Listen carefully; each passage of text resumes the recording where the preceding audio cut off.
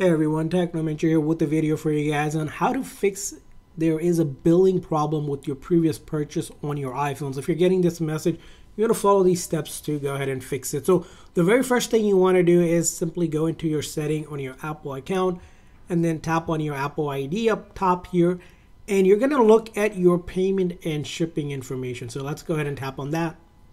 Now, once in your payment and shipping information, there's a couple things you want to verify is that if you recently got a new card on file, maybe your previous card expired, you want to update that card that you have on your account. Along with that is the billing address. You want to make sure that billing address is correct, especially if you moved or changed your billing address on that card that you have. You want to make sure it is updated. And that's going to be the important step is because usually there's a problem with the payment uh, method. You might be saying, all right, I'm only using free apps. Why do I need this? It's just the requirement for Apple is that you need a payment on file exact the way they have made it. So you're gonna go ahead and update your card if expired or update the numbers and your billing address if it needs to be updated. So that's gonna be the first step on troubleshooting. Now once you updated that, go back to again your Apple account here in the main thing and this time you're gonna look at subscriptions here right? If there's subscriptions here, you want to make sure that if there's any pending or subscriptions that need to be paid, you want to tap to pay it after you update your payment. Because if there's a pending or a subscription that you're not paying because your card expired, it's going to put a hold on your account. So we need to clear that up. And you're going to see a red line of any of the subscription that needs to be paid, or you can alternately always cancel a subscription or payment that you don't want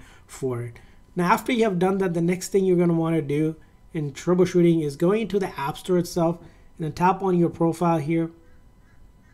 And the same exact thing here, you're going to look at your basically purchase history and see if you made a payment or there's any payment that are pending in this history that you need to be uh, paid. So you want to check that out. Any app that needs to be paid should also come up with a pop-up message. You can always tap on your account here and then if there's again a payment issue, you can go ahead and update it here. And any subscription, you need to update it as well here. And make sure your country and region is on the right settings. Now, after you have done this and it's still not working, the final thing to do, sometimes you have to contact Apple customer service. In order to do that, you can Google search contact Apple support and still take you to support.apple.com. And if you go over there, there's a billing and subscription support ticket, which you can go ahead and contact them with their either the the support store app or your basically managed payment here. And that's going to help you figure out exactly what's going on.